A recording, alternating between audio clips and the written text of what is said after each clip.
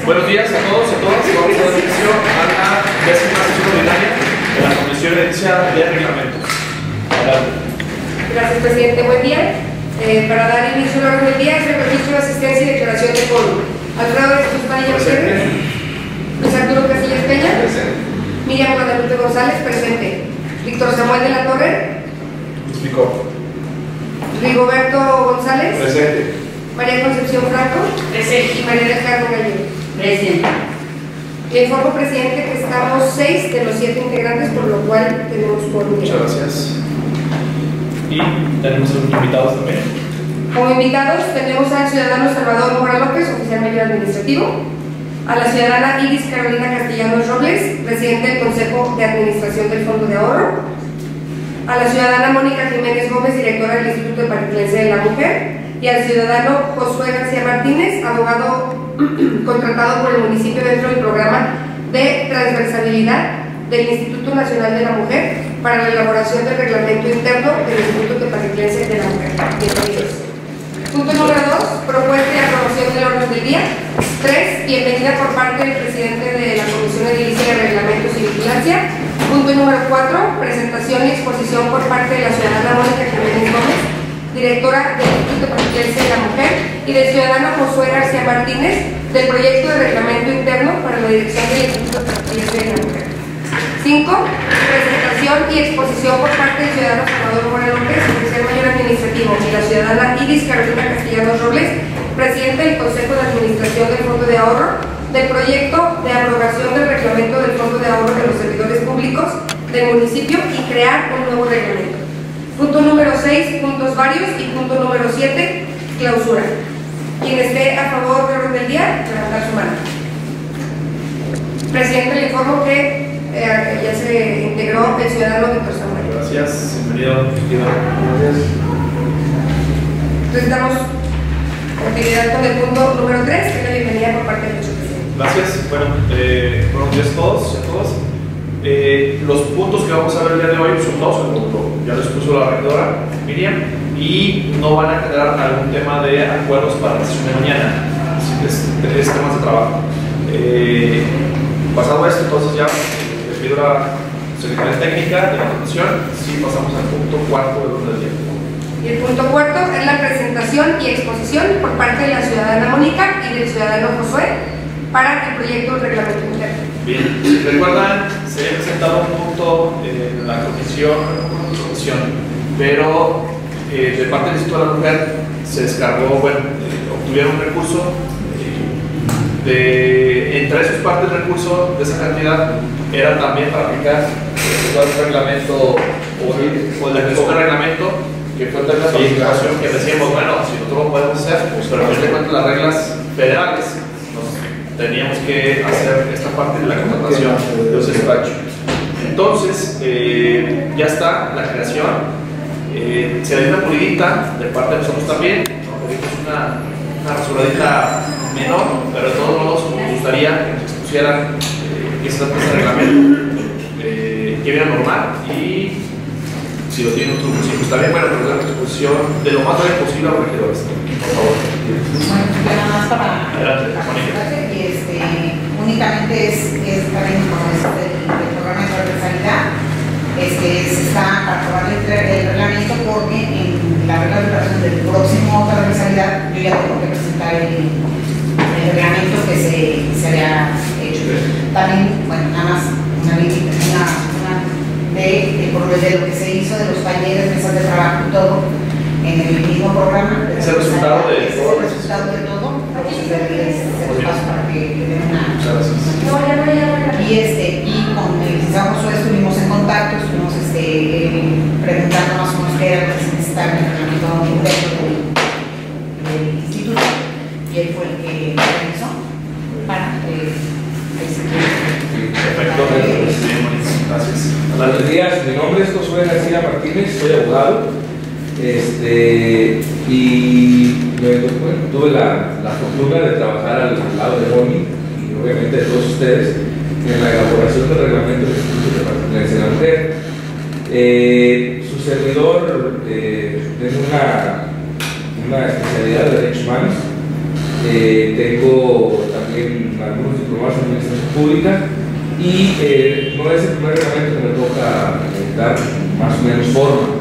Desde luego que todos los reglamentos son susceptibles de, de modificación y adecuación a cada una de las necesidades propias de cada una de las entidades públicas. A mí me tocó realizar por ahí en el año 2008 el reglamento del Instituto de la Mujer de Yagualica y de y colaboré también con el este, este proyecto de, del Instituto Nacional de las Mujeres de la transversalidad de la, de la perspectiva es un programa federal que ya tiene, si no mal recuerdo, desde el año 2005-2006. Ha ido cambiando paso del tiempo su, su nombre y obviamente ha ido mejorando. Todo es para mejorar. Eh, el Instituto de la Mujer de Trepa, si no mal recuerdo, ya era, eh, ya estaba funcionando de una manera adecuada.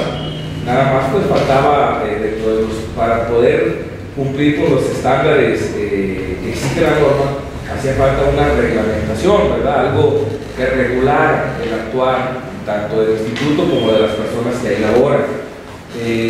no sé, eso sí no sé si fue alguna observación, Mónica, que hicieron, que te hace falta, eh, Sí, dentro no, de no lo que había tú- un reglamento. no un reglamento, te lo observaron y bueno, este, pudiste hacer el proyecto, ¿verdad? Eh, en el reglamento del, del Instituto de la Mujer, eh, yo cuando platiqué con Moni la primera vez, yo le explicaba que esto es como los derechos humanos, van evolucionando, necesariamente van evolucionando. Eh, tiempo atrás, en la administración anterior, las administraciones del gobierno del Estado anterior, había incluso un instituto estatal de las mujeres, que hoy ya es la Secretaría de Igualdad Sustantiva, ¿verdad? Entonces yo platiqué con Moni, el primer, el primer detalle que vimos es cómo o en qué nos vamos a enfocar, porque el, el presupuesto es del Instituto Nacional de las Mujeres, ellos tienen un reglamento y tienen ciertas normas o bases a seguir. Y la Secretaría de Igualdad Sustantiva es una secretaría muy vanguardista y muy actualizada, que eh, va en, pro de garantizar de una manera más eficaz los derechos humanos de las mujeres. Eh, y incluso no, si ustedes pueden revisar el reglamento interior de la Secretaría de Igualdad Sustantiva con el de las mujeres, no, no compaginan mucho, porque hay necesariamente esas, esa, eh, eh, tal vez el las mujeres está un poco ya quedado en el, no está actualizado, y el del Instituto de la Secretaría de Igualdad Sustantiva es muy vanguardista, es muy ad hoc. Por eso las modificaciones tuve la oportunidad de revisarlas y considero que son adecuadas. No tengo ningún inconveniente. De hecho, esto se trata de, de mejorar para brindar un mejor servicio a la ciudadanía. Eh, había la incertidumbre, no incertidumbre, sino que me comentaba por ejemplo, que el instituto aparentemente pasó de ser de un, no sé cómo lo tenía, hacer una coordinación a ser una dirección. Tal vez allí es un poquito donde tuve yo la confusión a la hora de la elaboración del documento porque pareciera que se trata de un OPD, pero en realidad no es que vaya tanto como si fuera un OPD, una, una dependencia pública descentralizada, sino que más bien yo traté de darle un sentido como de una dirección, pues algo como no tan autónomo del ayuntamiento porque es definitivamente depende del ayuntamiento, ¿verdad? Pero sí ya no es como una coordinación que dependía tal vez de Oficialía Mayor Administrativa, por ejemplo, ¿verdad? Eh, eso por ese lado. Y por el otro lado, respecto del patrimonio, me había comentado Moni, por ejemplo, que ella tenía ciertos muebles o bienes muebles eh, que son propiedad o patrimonio del, del, instituto porque se los, se los ha ganado en proyectos en los que el instituto ha participado, que no necesariamente son del ayuntamiento. Entonces incluso yo también como con una cuestión de uh, algo vanguardista, ok, pues si tienes muebles que son tuyos del Instituto de la Mujer como dirección, pues tal vez que agregarle un apartado de, del patrimonio, vamos, o sea, que igual es una cuestión tal vez innovadora, no sé cómo es que se registraron, cómo es que están inventariados esos muebles, pero según me comentan hay una todos los muebles que son del instituto, los bienes muebles no son del ayuntamiento, sino que son del, propio instituto, son. Entonces es parte de lo que tal vez vienen esas observaciones, insisto, no es que sea una OPD, o sea, no es el, yo- me queda claro que no es una OPD, depende perfectamente del ayuntamiento, nada más ese, ese detalle Eh, y pero sin ningún problema, o sea, definitivamente lo que ustedes consideren que es Sí, agravado. Oye, eh, platícanos del reglamento, es decir, qué regula el instituto, eh, cómo, cómo lo, lo importante del reglamento, pues Ok. grosso modo los regidores para saber Ok, el reglamento, eh, los institutos de las mujeres eh, son un ente público eh, que busca garantizar los derechos humanos de las mujeres. Eh, México ha sido parte de diversos tratados internacionales, los cuales México no cumplía. Eh, incluso había multas muy importantes al gobierno del Estado mexicano porque no se estaban cumpliendo con estos estándares. De ahí que se ha venido dando una gran transformación a nivel nacional para poder garantizar todos los derechos que se garantizan, valga la redundancia, en los tratados internacionales de los cuales México forma parte. También se incluso una, una reforma a la Constitución en el año 2011. Este reglamento de la mujer eh, regula el actuar del instituto, las atribuciones, facultades, atribuciones, eh, tanto de la directora como del demás personal que elabora en el instituto.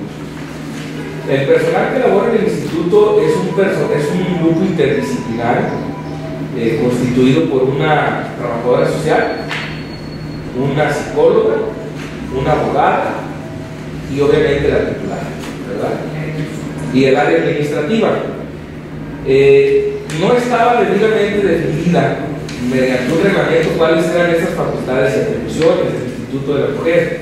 Básicamente eso es lo que regula el, reglamento. Es decir, ¿qué se requiere para ser titular del Instituto de la Mujer? ¿Verdad? Este, ¿Qué se requiere para trabajar como abogado, por ejemplo, en el Instituto de la Mujer?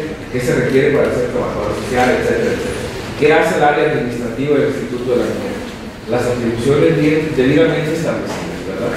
Por ejemplo, eh, una abogada del Instituto de la Mujer eh, estaba leyendo las observaciones y estaba viendo pues que no, no tienen permitido los abogados litigar, cosa que yo no, no conocía el principio. Eh, nada más única, se va a limitar, según las observaciones, nada más a brindar asesoría. Digo, no es como el DIF, yo me, me fui mucho por el reglamento también, que el reglamento del DIF, los abogados del DIF sí litigan un poco. Entonces yo dije, ok, pues presentarme, ¿no? Y las estrellas. Eh, eh, como veo las observaciones, pues nada más va a ser la cuestión de asesoría, nada más, ¿verdad? El abogado pues va a brindar asesorías, eh, van a recibir, van a atender a todo tipo de, comunidad, ¿verdad? Hombres, mujeres, pero eh, desde luego han caminado más a las mujeres que son víctimas de violencia, ¿verdad? Hay una ley de acceso a las mujeres a una vida libre de violencia, ¿verdad? Este, y ahí la abogada, pues cuando atiende a estas personas, a estas mujeres en- que son víctimas de violencia o que acuden por cualquier otro servicio del Instituto de la Mujer, que ella rápidamente podrá advertir si es víctima tal vez de algún delito, si puede eh, participar en algún programa, del libro de principal, tal, tal, bueno, ya dependerá de la, de la abogada, de la abogada social, ir canalizando a la mujer para darle una atención adecuada para que pueda salva- salvaguardar sus derechos, ¿verdad? La trabajadora social, obviamente, al, ingresar una, una usuaria al Instituto de la Mujer, el primer filtro es la trabajadora social, ¿verdad? Eh, ¿Cuál es el motivo de su visita? ¿Cuál es su problema? Eh, si es alguna cuestión tal vez eh, legal, canalizar al área legal. Si es una cuestión tal vez este, de que el mismo trabajo social pueda realizar, ¿verdad? Tal vez ella misma eh, solventar su problema, solucionar su problema, o tal vez incluso derivarla con la psicóloga, ¿verdad? Eh, la abogada existe esa asesoría jurídica legal respecto de cualquier problema que, que acuse la víctima. La trabajadora social, pues desde luego la función del trabajo social es un trabajo más bien humanitario, este, tal vez la elaboración de algún expediente, ¿verdad? Este, canalizar, orientar a la, a la usuaria para que pueda salvaguardar ese asunto que la llevó a buscar ayuda, ¿verdad? Al Instituto de la Mujer. Eh, la psicóloga, desde luego, eh, dar terapia psicoterapéutica, re- realizar valoraciones psicológicas. Eh, tuve la, la dicha en el año 2017 de, de participar como apoyo auxiliar en el Instituto de la Mujer por dos meses, nada más. El, la abogada del Instituto de la Mujer salió eh, y tenían algunos asuntos pendientes y tal vez también ahí fue por eso que me di seguir con el reglamento porque la anterior abogada incluso llegaba litigaba divorcios por mutuo consentimiento e incluso se, se, presentaba como asesora jurídica de las víctimas del delito cuando había un delito eh, específico, no sé si lo viste la licenciada Marisol, ella eh, cuando llegaban con ella las usuarias que veían que eran víctimas de un delito, inmediatamente las acompañaba del acompañamiento global fiscalía, presentaban la denuncia y ella se nombraba como asesora jurídica, incluso acudían a las audiencias, al juzgado ahí la conocí yo de hecho. Eh, lo cual en este parece que no va a ser posible ya nada más en historia jurídica. Este, entonces la, la, la, psicóloga pues sí va a elaborar eh, valoraciones psicológicas respecto al estado emocional de las víctimas. Aquí sí viene un detalle que hay que ver la forma de cómo se va a solventar, porque por ejemplo eh, la Fiscalía General del Estado, que son cuatro agencias del Ministerio Público de Particular, sin embargo está centralizado en el de Particular, Distrito 2 en materia penal, pero atienden usuarias de todo el distrito electoral, como son del Iztlahuacán del Río, incluso eh, va más allá porque Iztlahuacán y Quintilo al distrito electoral, sin embargo sí están dentro del distrito de judicial, segundo distrito judicial, se atienden víctimas de, todas estas localidades, Cañada, San Valle, San Miguel, San Ignacio, San. Este, y eh, la Fiscalía se apoya mucho en DIF y en el Instituto de la Mujer para la elaboración de las, de las valoraciones psicológicas de las víctimas del delito. Cabe recordar que las, hoy en día la violencia familiar eh, tiene cinco hipótesis. Antes nada más conocíamos la hipótesis, la hipótesis física. Una mujer que era violentada a golpes sufría violencia familiar o intrafamiliar. Hoy en día la Ley General de Acceso a la Mujer es una vida libre de violencia eh, dispone cinco hipótesis, violencia física, económica, patrimonial, sexual y psicológica. Entonces, eh, en el Código Penal, el artículo 176 del, del Código Penal del Estado de Jalisco dispone como violencia familiar únicamente dos hipótesis, la violencia física y la violencia psicológica. Y se puede vincular al proceso a una persona agresora por cualquiera de esas dos. ¿Cómo demuestras una violencia física? Pues con un parte médico de lesiones. ¿Cómo demuestras una violencia psicológica? Con una valoración psicológica. Entonces, toda mujer que llega a denunciar hechos de violencia intrafamiliar o violencia familiar, de cajón de cajón se le manda a hacer un parte médico y una valoración psicológica. Ya se imaginarán la carga de trabajo que le están dando a mí, ustedes lo deben de saber. Para desahogar un poco esa carga de trabajo se están apoyando un poquito en el Instituto de la Mujer. Aquí esas funciones de la psicóloga, y, ahí sí me gustaría que lo debatieran un poquito ustedes que tienen la, facultad, de que al menos a la psicóloga sí le permitan ir más allá de sus funciones. ¿Por qué? Porque hay que tener en cuenta que una profesionista psicóloga analiza, hace su, valoración psicológica y emite un resultado donde emite si tiene una afectación o no y qué tipo de afectación tiene, moderada, grave, etc. Lo que los psicólogos hacen. ¿Pero existe en algún apartado? Sí, en el reglamento, en, en, las atribuciones de la. Así es. Porque si no andamos, entonces no, en el artículo 19. Así es del área de la psicología. A partir del 19. A partir del 19. Las funciones están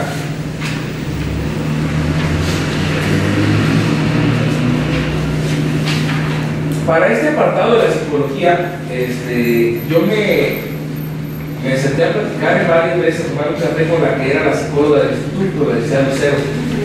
Eh, ella me dio un, lo que hacía ella prácticamente, yo traté de darle forma y establecerlo en el reglamento, ¿verdad? Ella todavía estaba en el instituto y yo me senté con ella, licenciada. De derecho, pues yo le podría decir que hace un abogado, ¿verdad? Pero de psicología, necesito que usted le diga cuáles son sus atribuciones, sus funciones y hasta dónde.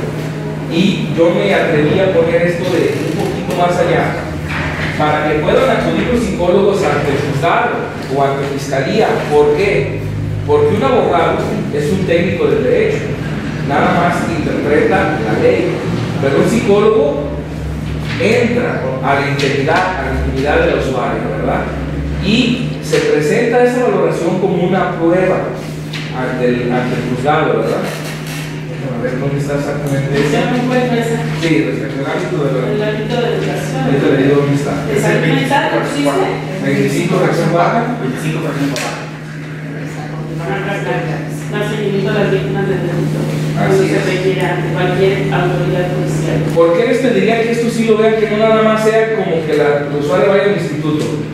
Porque como es una cuestión muy personal y los psicólogos se rigen por una norma oficial eh, en materia de psicología, eh, esta prueba, esta valoración se presenta como una prueba en contra de un acusado.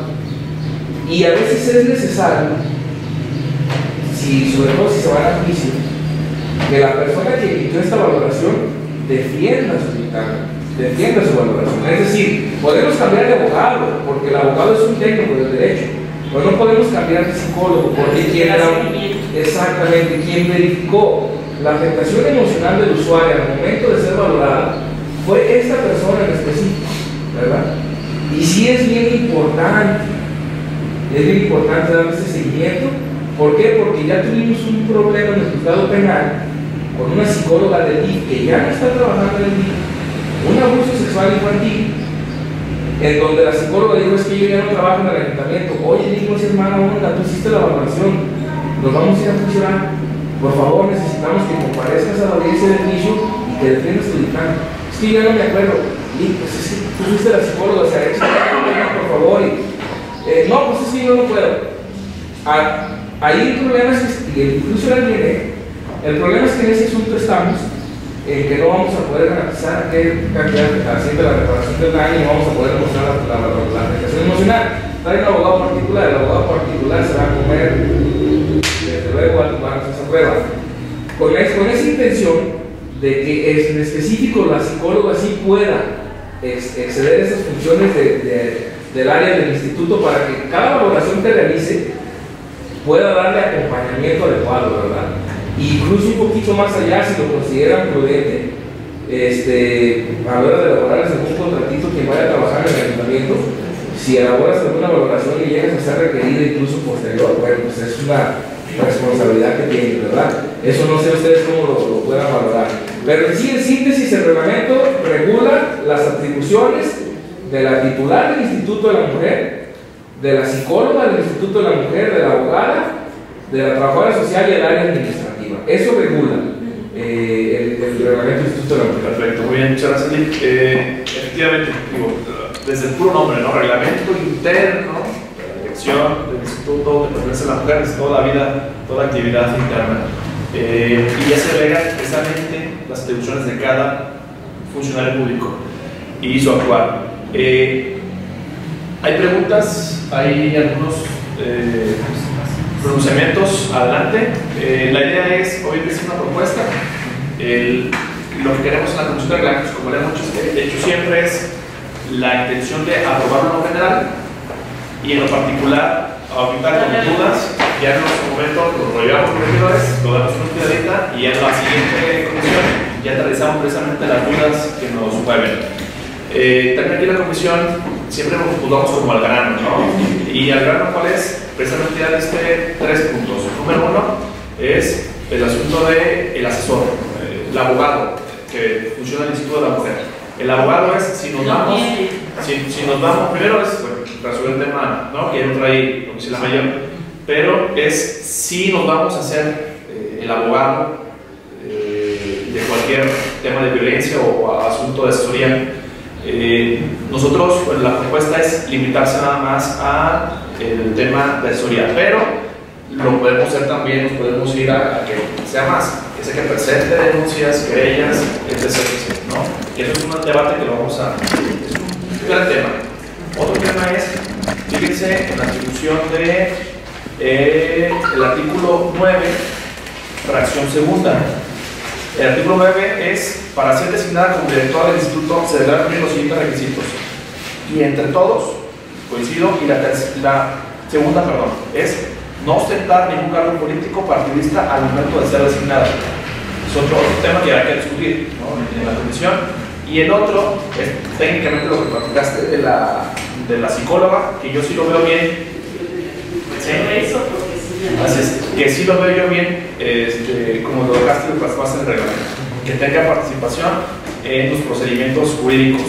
Ah, nada más si me permiten hacer una observación. Adelante. Porque fue una de las observaciones que se hicieron en el reglamento. Eh, la- el artículo 9, fracción primera, dice que para ser este, designada como eh, directora del Instituto de la Mujer, se requiere ser mujer. Nada más les, les quería aclarar por qué lo puse así. De hecho, fue incluso antes lo que habíamos platicado con Mónica. Eh, en el reglamento interior de, mis mujeres, es un, requisito, es federal, es un requisito el ser mujer, porque acuérdense que en aquellos tiempos era, una, era un instituto de mujeres. En la Secretaría de Igualdad Sustantiva ya no. En el, en el anterior sí, entonces ahí sí, por eso te lo hacía, porque no Pero, sabía yo. pero ahora Sí, no, tenemos, que, tenemos que valorar, o sea, eso que pusiste no creo que esté, porque ahora en la de igualdad sustantiva nos Así es. pueden atacar por poner Es ese. Para que ustedes vean O esa tenemos que tener mucho cuidado en qué es. pones. Es. Ahí donde pusiste sí lo vi. Entonces, lo tengo subrayado. Eh, eh, eh, acuérdate que ahora es igualdad sustantiva y entonces eso nos puede seguimos. Eh, Prácticamente es lo que yo detecto desde la presidencia de la comisión, pues son grandes temas que hay que debatir en la comisión. No, no más, hay más, creo que está parte, a razón de lo que ustedes han detectado a grosso modo, porque vamos a detectar posteriormente. Tome mis, mis, mis puntos. Adelante. ¿Quién eh, se toma el uso de voz? ¿De regidores? No, pues lo vamos a analizar después, ¿no? Sí, ahorita, pregunta, cosas.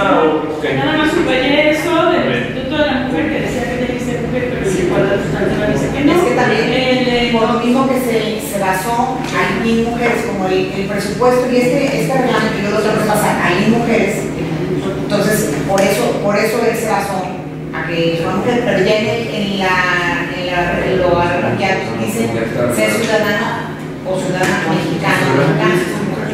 ¿Mande? El de No, no, nosotros no, no, no, no. El no, mexicano. Es una de las arregladas. Sí, muy bien. Entonces, ¿algún regidor regidora que quiera bien. ¿Sí? Muy bien. Entonces, pues muchas gracias, Mónica, licenciado. Eh, pasamos a la votación. Bueno, la propuesta es en lo general. Nos la llevamos otra vez y al menos ya la siguiente sentada que tenemos aquí en la comisión discutiríamos el tema del artículo eh, 9, fracción segunda, que, tiene que no tiene que ser de cargo político. Eh, el asunto. ¿por qué pusiste eso? Porque en el reglamento de Ley Mujeres y la Secretaría de Valores Sustantivas está. Así viene. Ajá. O sea, pregunto, Pero eso ustedes lo pueden pregunto, decir, sí, porque claro. este es interno y de Sí, aquí claro. podemos, a ver, se pueden mover muchas cosas, Sí, claro. por eso es reglamento interno. Así es, no, ustedes lo pueden poner Nos tenemos que basar al federal y al estatal, pero con, puede haber sus movimientos, es una base. ¿No? Yo me di como base Sí. para dar la idea, pero no, ustedes. Sí, o sea, eso también lo había Sí. subrayado. por Y eh, nos llevamos el tema también del abogado para ver si va, le damos más atribuciones internamente y confirmar o no el tema del psicólogo. ¿Les parece? Si, si también sumamos si hubiera alguna otra inquietud. Entonces, adelante. Entonces, si quieren, sometemos a votación que se apruebe en lo general el proyecto de reglamento interno de la Dirección del Instituto de Transparencia de la Mujer. Quien esté a favor, levanta. Muchas gracias. Aprobado. Gracias, Mónica. Has licenciado Josué. Ya va a haber una siguiente reunión en la cual este, ya. No, yo al contrario, les agradezco la, la oportunidad, bueno, y a todos ustedes, de haber participado con ustedes, darles el primer que. Este, y obviamente, digo, me comentaba el abogado Lee, es que es buenas correcciones, al contrario, o sea, es para mejorar, o sea, de dar un buen servicio, es un proyecto, de hecho. Ustedes ya van a ver que en realidad lo que mejor funciona para el ayuntamiento, para la, la mejor, el mejor servicio a las mujeres de la ciudad, ¿verdad? Que Así tengan demasiado poder porque luego van a perjudicar psicológicamente al hombre.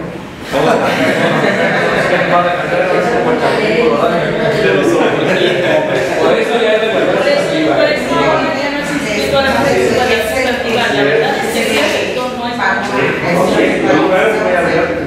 El licenciado José de todos modos, este, nos apoya muchísimo. Yo ahorita que no, en cualquier cosa le hablamos por teléfono y él nos asesora muchísimo. Ahorita, él no está, no está trabajando con nosotros, también por lo mismo del reglamento y eso. Entonces, como que para tenernos de, de bueno, se te- teníamos destinado para, para pagar y eso, él nos asesora de todos modos ahorita no tenemos Yo creo que en la, Moni, en la comisión de ya de, de la regidora de de, de, de Derechos Humanos, de y todo, ya nos van a presentar el proyecto, ¿no? Me imagino. Sí, sí, Sí, sí, sí, sí, sí. Los protocolos y todo lo demás. Muy bien, muchas gracias. Gracias.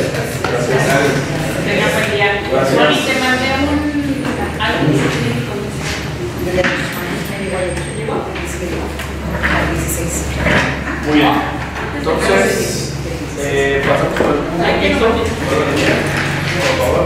Eh, un una cosa. Este, el reglamento no sé cuándo lo vayan, se vaya a actualizar y eso. La cosa es que yo para poderlo tengo que mandarlo para la regla de operación de la siguiente transversalidad. Ya salieron las, las reglas de operación. Entonces, si yo tengo que mandarlo, eh, Ahí se está aprobado por Cabildo para que lo podamos. ¿Y cómo andamos de fechas? Tenemos 10 días hábiles de cuando salieron las reglas de operación. Yo pienso que se va a alargar un poco porque la plataforma está muy lenta. Entonces, No, que van a dar un poco llegó al más. 100. Llegó al 100, no puede ser, o sea, no, no lo podemos meter a comisión hasta... Sí, No, no, no, tenemos que prioridad.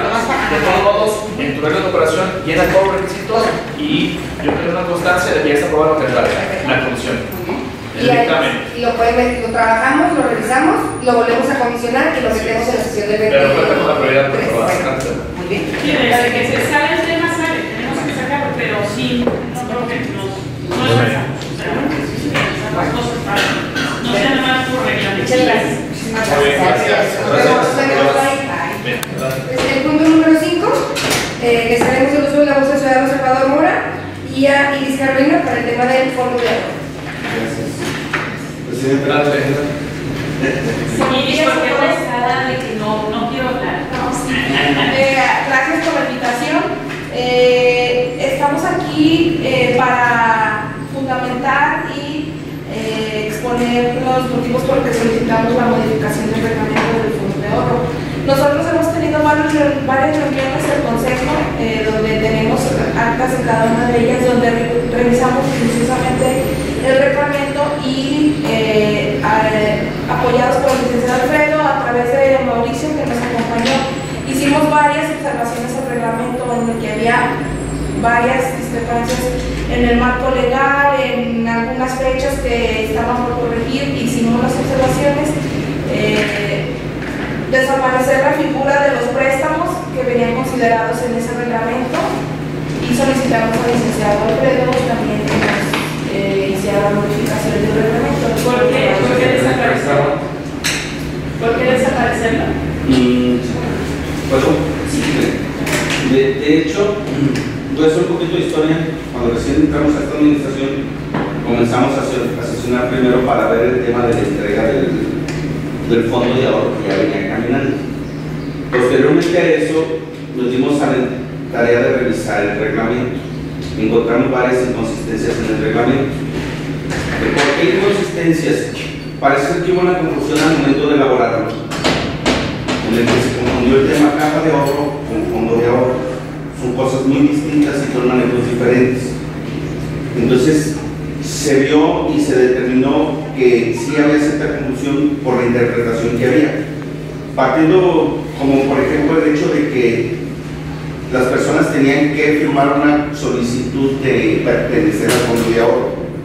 La naturaleza del fondo de ahorro es una, es de previsión social y para que pueda ser previsión social deben de ser de orden general. No puede ser, ele- no puede elegir quién sí y quién no. Si no es de forma general no puedes considerar una prestación de previsión social. Otra de las inconsistencias que había era de que las personas en el reglamento actual tienen la facultad de retirarse y en el caso del fondo de ahorro No no, se puede, solamente una vez al año.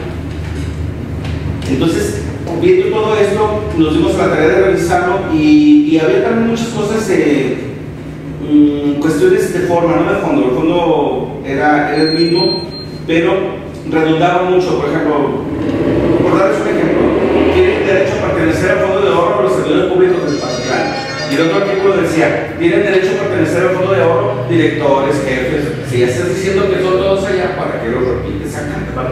Cositas de ese tipo. Lo realmente fundamental y de fondo que trae aquí la modificación, dos cosas. Primero, establecer realmente que es un fondo de ahorro. Se establece y se, reglamenta como un fondo de ahorro. El fondo de ahorro para que sea como tal debe de cumplir ciertas condiciones que sí las estamos cumpliendo, como es la aportación igualitaria tanto del empleado como del, del- del ayuntamiento. Eh, Estamos dentro de los límites legales, que es no más de un 13% de, del salario. Mm, se entrega una vez por, por año. El tema de los préstamos es un poquito controversial y lo vimos en el, en el Consejo, que más que beneficios generaría situaciones de repente incómodas. ¿Por qué?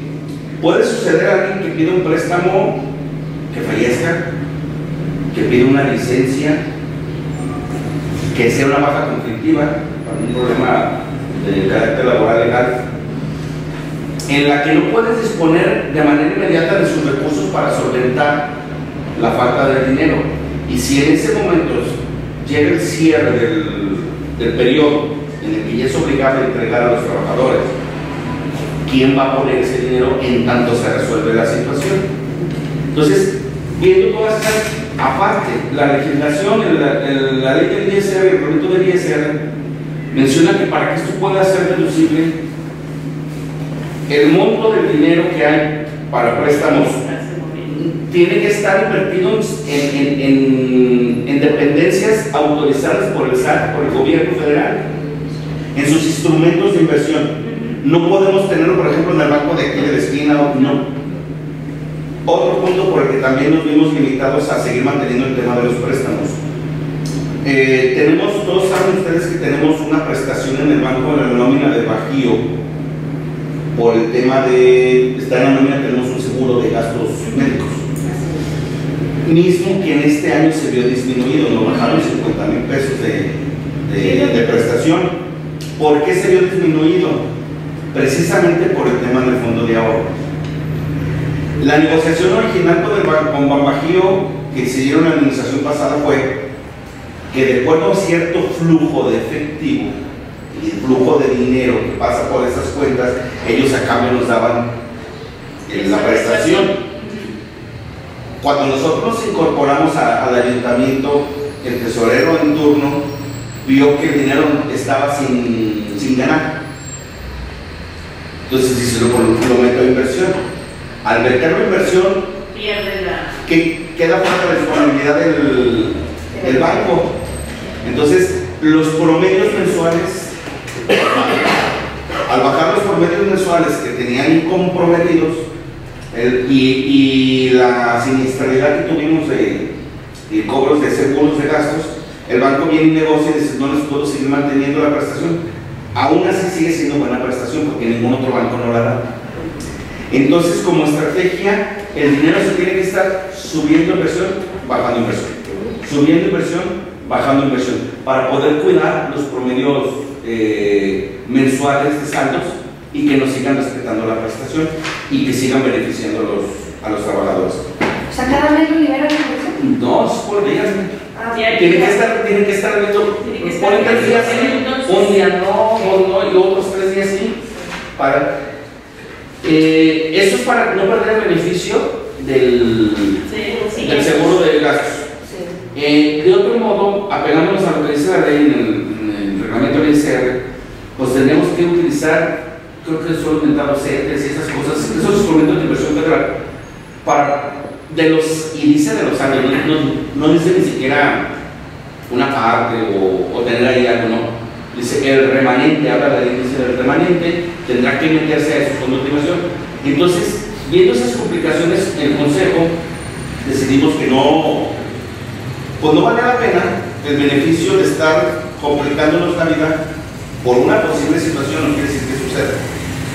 Entonces decidimos no instrumentar ya el tema de los préstamos y dejarlo solamente como el fondo. Pero ya todas maneras que quitar el beneficio en el banco, ya, ya nos mandaron a correr todos. El beneficio sí, Del 50, o sea, Ah, sí. no el 50%. pero el 50 sigue siendo, los 50 mil pesos siguen siendo buenos. No lo da otro banco, no, no lo ha dado, no lo Ah, ofrece. no, que no. No.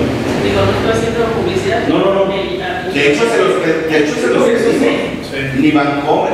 Ah, no, banco. No, de hecho fue parte de las negociaciones que hicimos para ver a dónde íbamos a Santander. invertir el, en el momento como consejo tuvimos que decidir a dónde íbamos a mantener la inversión del, del fondo de ahorro. Entonces ninguno nos pudo, nos pudo competir o pudo competir con esa prestación.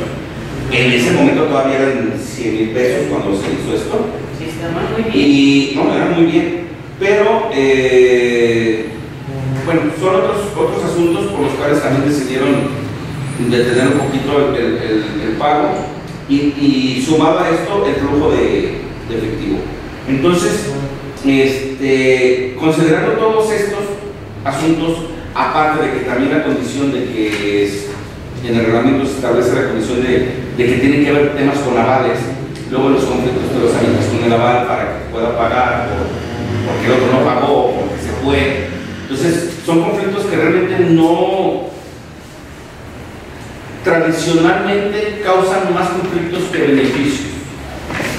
Entonces, el, el- el- objeto del fondo de ahorro pues, es fomentar un, Un ahorro, un ahorro y que solvente sus, sus necesidades en un momento dado cuando lo reciban, Ujú. más que ser una fuente de financiamiento. Para eso hay otros instrumentos como la caja de, de ahorro.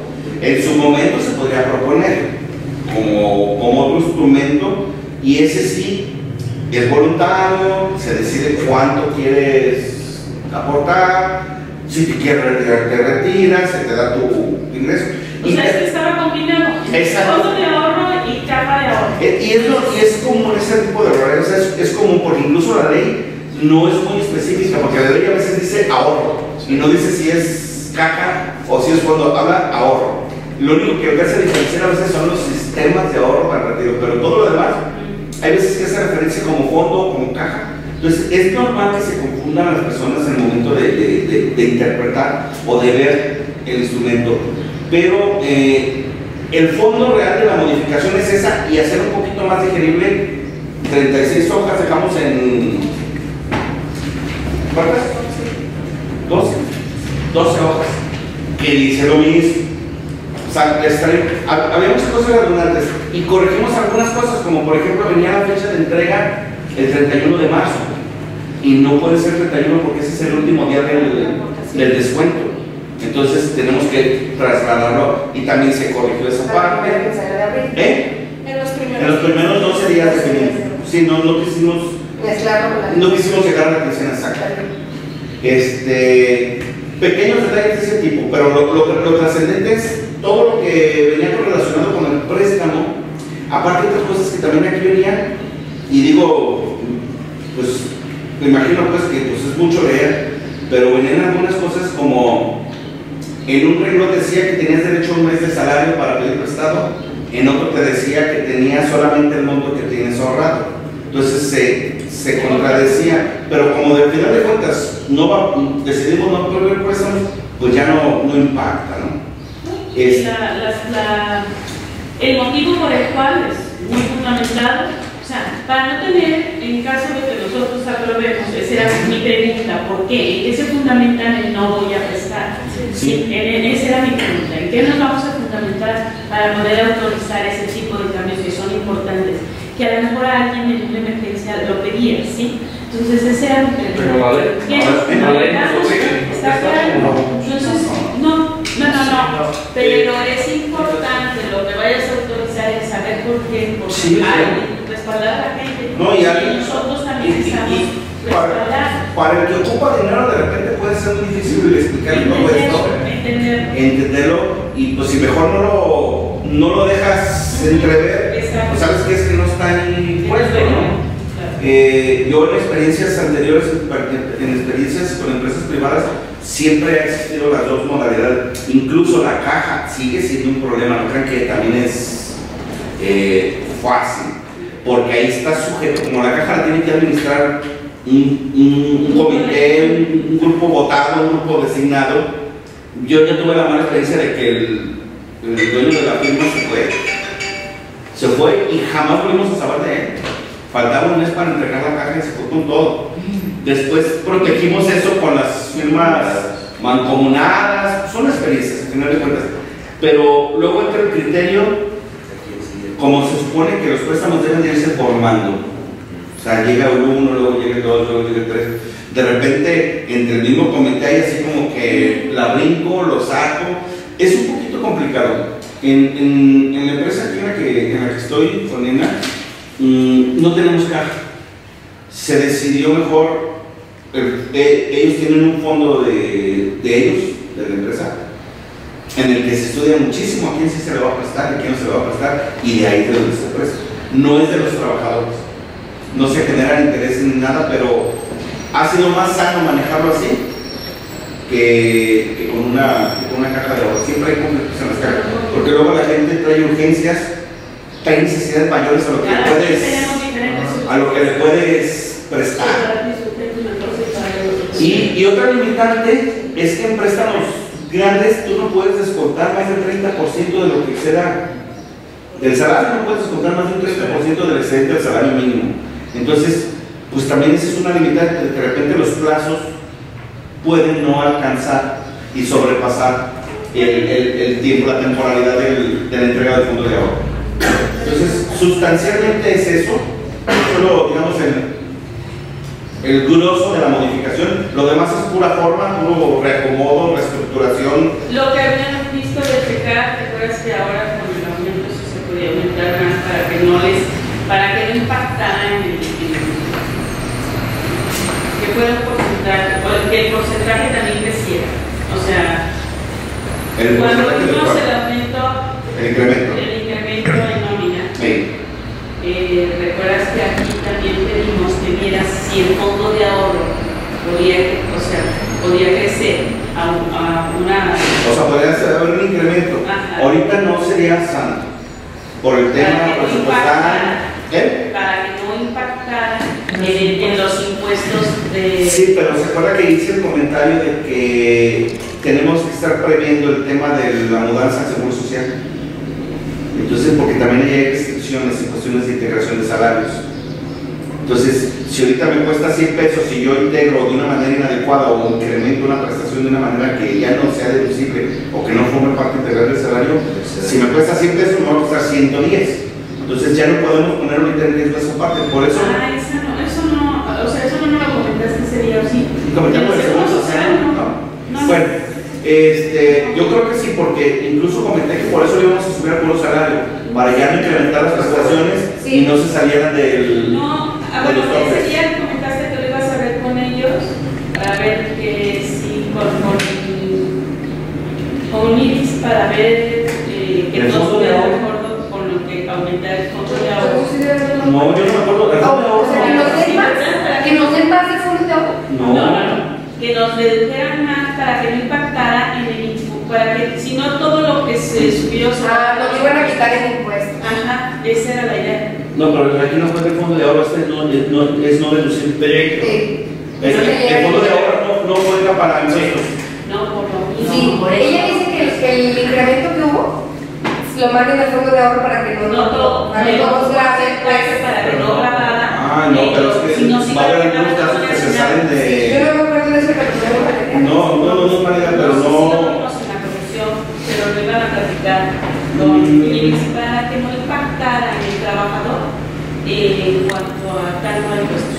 Bueno, si quieren, igual podemos presentar una propuesta y revisarlo, pero ahorita, bueno. Ah, yo pensé, hasta pensé cuando vi que el punto de cada mejor es Sí. eso. No, que no yo, sí, yo sí le había solicitado, pues si no, haz de cuenta lo que se les aumentó casi casi se lo van a quitar en impuestos. Entonces, No. ah, en la- en- eh, o sea, sí se va mucho. Sí, o sea, la, la- la- la parte. mm, Pues sí, está bien, sí puede votar, pero el 4.5%, eh, prácticamente no, no, No alcanza a brincar. no alcanza a brincar para el de. Va a haber un Pero sí punto vale de la pena. No, valdría la pena hacerlo, o sea, no me parece de En todos, en todos, en todos. No es mala idea, pero. Sí, pero. Ah, ya, ya, sí. Entonces era ese era el tema. Bueno, pues que ya nos Ya. estamos perdiendo, yo creo que es. este tema, ¿no? Eh, bien. Es la propuesta de, de lo que nos hace el conce- es comité, pues Es un consejo. Algo que que quiero también hacer un claro, Alfredo, Esto lo pasamos desde el febrero del año pasado, está muy atrasado porque ya vamos a tener que entregar todo y, y estamos trabajando, pues de alguna manera fuera de, bueno, entre comillas, fuera de reglamento, porque no estamos dando préstamo. No hay una ley de dinero prestado. Qué bueno, entonces Hasta no ahorita. hay- Yo sí quiero, sí, yo quiero tocar el tema del préstamo trae, todos los reglamentos tienen, tienen su historia, pero tienen su, su forma. Recordemos pues que los presidentes municipales todos les llegaban a las personas y daban préstamos a discreción. ¿no? Llegaban a las personas y con temas de enfermedad, temas de riesgo, y el presidente municipal tiene que prestaba y pues órale, lana, lana buena y la prestabas a los trabajadores. Entonces, con este reglamento, lo que se fue, ok, ¿qué crees, presidente? Para que tú estés más tranquilo, muchas veces los presidentes nos ponían en una ¿no? Y, y en ese tiempo hubo también préstamos, inclusive a regidores, hubo, hubo préstamos, no sé si recuerden, hubo préstamos a directores, hubo préstamos a mucha gente y fuertes. Entonces lo que hicimos fue, ah, ¿qué crees, presidente? Obviamente con la aval del presidente municipal fue, "Mm, tú no vas a tener ya ninguna difusión de prestar y lo vamos a pasar al fondo de ahorro. ¿Por qué? Porque el fondo de ahorro, mientras que no tenga rendimientos, tú no puedes, no puedes dar préstamos. Entonces congelaste todo. Ese fue el ánimo, no es que estuviera mal. pues. De hecho, los reglamentos son para trascender. Si en su momento dado este fondo de ahorro se, va creciendo y va creciendo con otras dinámicas, pues en su momento dado también pueden tener áreas de préstamo, por eso es que no afecta. O sea, no afecta el tema que da préstamo. Si es una idea del, del comité del consejo que lo quieran quitar, pues yo también tengo un problema, pues, porque ya quitas de dudas de todos, ¿no? Y además el gobierno no está como para dar. Así es. De de desarrollo. Entonces, ese fue el ánimo del reglamento, ¿sale? O sea, no fue como que. Mira, hay algo- desorden. Yo, yo me, bueno, de alguna manera, es parte del trabajo. La gente que se ha llegado y se ha acercado a mí a pedirme por alguna necesidad, Sí, claro. en yo se lo he hecho de igual. Como yo creo que muchos de nosotros lo podemos haber hecho con alguno que se nos acerque a pedir prestado, cuando es una cantidad moderada. O funerarios, no. Eh, de los funerarios están protegidos de alguna manera. Tenemos protección, por el servicio funerario está protegido, Sí, sí. este, la función está protegido, eh, pero también hay un instrumento para préstamos que se llama Instituto de Pensiones del Estado. Sí. Y es el que, a donde yo los mando. El problema es que cuando vienen es porque ya deben allá. Entonces, entonces está medio cañón mm, resolver a ese nivel los, las problemáticas económicas de la gente. Nunca alcanza, ¿eh? Jamás. Sí. Entonces, o- y luego le deben a pensiones, le deben a la tarjeta del banco y le deben a Pop Desarrollo y, y aquí te van a pagar hasta el final. No, es que y eso es de verdad. Y eso sí que está. Sí. Bueno, yo creo que, yo creo que las No. necesidades siempre son bien Claro. diferentes de cada quien y cada quien tiene sus necesidades.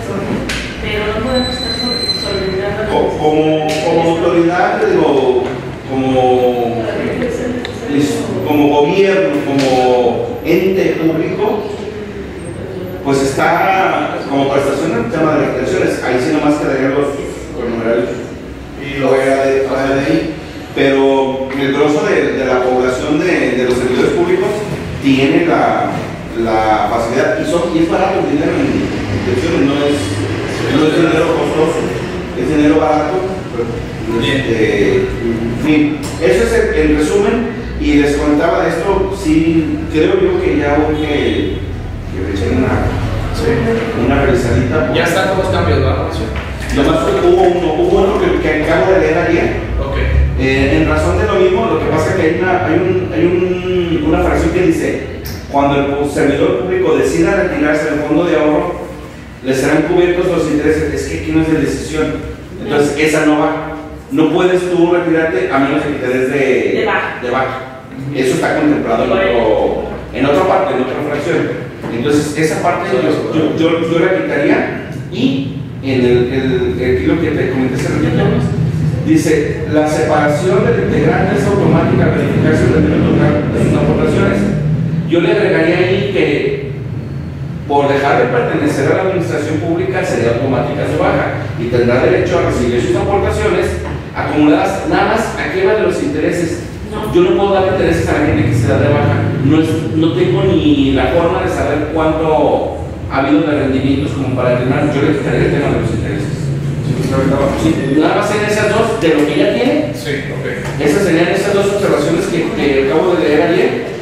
¿Qué les parece la siguiente propuesta? Bueno, primero para que estén tranquilos, eh, va a estar el reglamento antes de que se expida, para que ustedes ya tengan toda esta. ¿no? Sí. Es antes de. O sea, ya lo vamos a sacar, pues, pero me refiero que cuenten con el compromiso de la condición, lo digo en voz, para que sea antes de que se entregue el, el fondo de ahorro.